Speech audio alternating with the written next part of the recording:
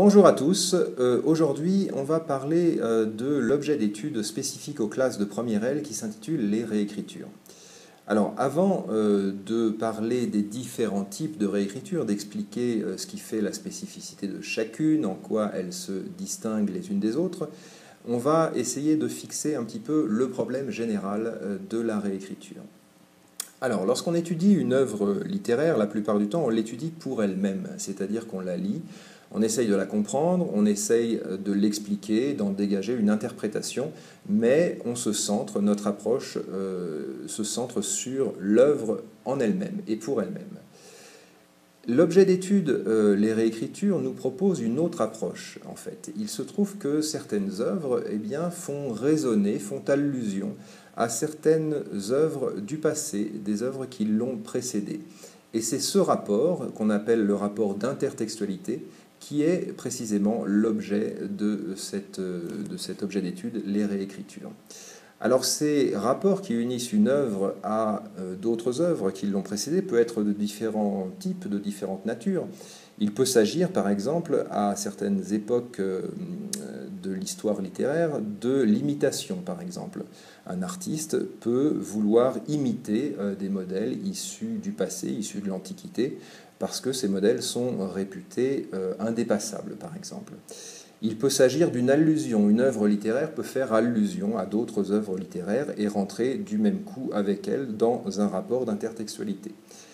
Un autre exemple, il peut s'agir d'une parodie, où là, l'artiste essaye d'adopter une approche un petit peu décalée, une approche humoristique, pour justement mettre en rapport le modèle avec sa propre production. Euh, une citation également peut être une manière euh, de faire entrer en résonance et en rapport deux œuvres littéraires, celle qui est écrite présentement et celle qui est citée. Bref, il y a différentes façons euh, de mettre en rapport une œuvre avec les œuvres du passé et d'établir ce rapport d'intertextualité.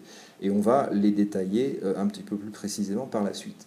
Mais pour l'instant, hein, ce qu'il faut comprendre, c'est que cet objet d'étude des réécritures eh bien, euh, nous propose de ne plus nous centrer uniquement sur l'œuvre elle-même et de ne plus l'étudier en vase clos, mais d'ouvrir un petit peu la perspective et d'étudier les rapports qu'elle euh, a avec l'ensemble des autres œuvres du passé avec lesquelles elle rentre en résonance et en rapport.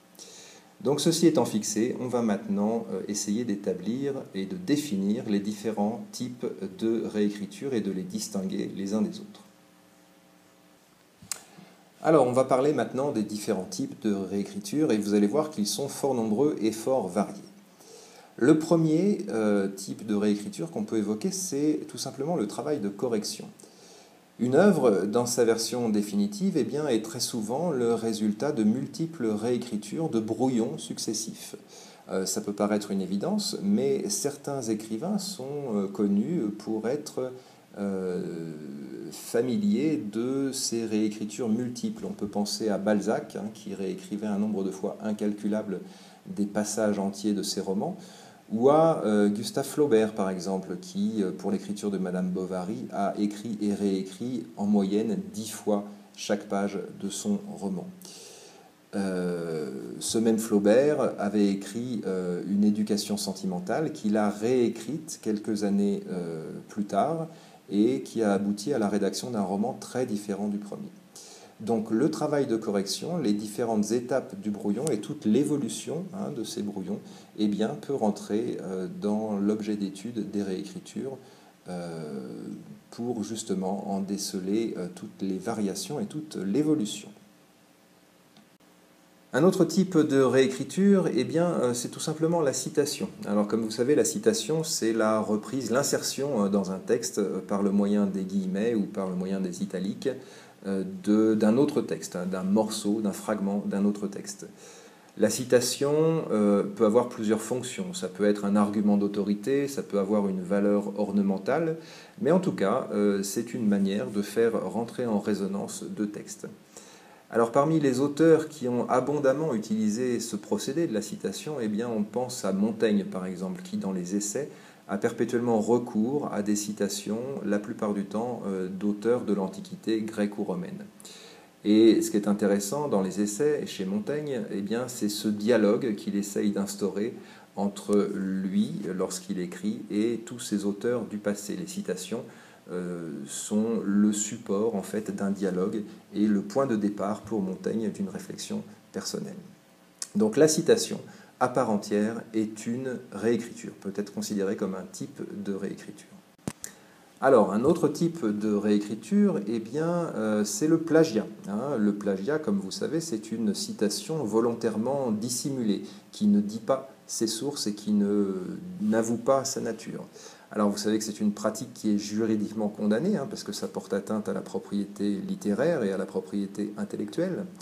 Euh, mais ça peut aussi constituer un jeu pour certains écrivains. On peut penser par exemple au conte de Lautréamont, qui, euh, dans les champs de Maldoror, en fait une pratique d'écriture à part entière.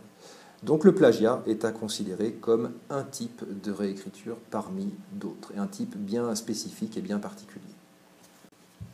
Autre type de réécriture, l'allusion littéraire. L'allusion est un euh, jeu, est une complicité qui s'établit entre l'auteur et le lecteur, dont on attend qu'il la saisisse, qu'il la reconnaisse et euh, qu'il en goûte la saveur et dont on sollicite en quelque sorte la mémoire et la culture. Continuons notre énumération de différents types de réécriture. On peut citer la variation autour d'un mythe. Alors, le mythe euh, littéraire, c'est un récit symbolique dont le sens se situe au-delà de l'histoire elle-même euh, qui est racontée.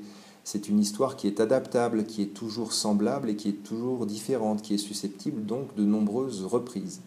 Et euh, les mythes issus de l'Antiquité, comme ceux par exemple d'Amphitryon, d'Oedipe, Antigone, Électre, Médée, ou des mythes plus récents comme celui de Don Juan, eh donnent lieu euh, dans l'histoire littéraire à de multiples réécritures, chaque auteur essayant d'en éclairer un aspect particulier, d'en souligner certains angles euh, ou de mettre en avant certains aspects particuliers qui étaient restés un petit peu dans l'ombre dans les versions précédentes. Donc la réécriture du mythe eh bien, est une autre forme de réécriture. Pour continuer notre énumération, on peut parler de l'adaptation.